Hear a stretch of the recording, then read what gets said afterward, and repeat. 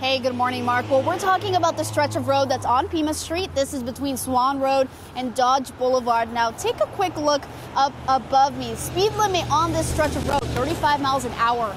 Now, outside of Dodge and outside of Swan, the speed limit changes to 30 miles an hour. In between or because of that constant back and forth of those speed limits, and because there is a school, a church, a rehab center, and a lot of residents in this area, Steve Kozachik, the councilman for Ward 6, he's asking the council to reconsider how fast people drive through here.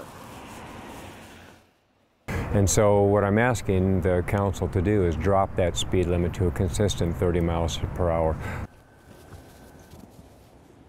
And Kozachik said that if today's council meeting goes as he hopes and the change is passed, then the Tucson Department of Transportation, they're going to order new speed limit signs. They're going to replace these 35, 35 mile an hour signs with those 30 mile an hour signs, adding that he does think this process will move along quickly as long as the council says yes to the change.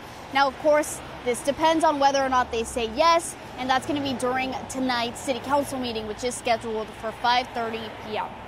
Reporting live from Midtown, Veronica Acosta, KGUN 9 on your side.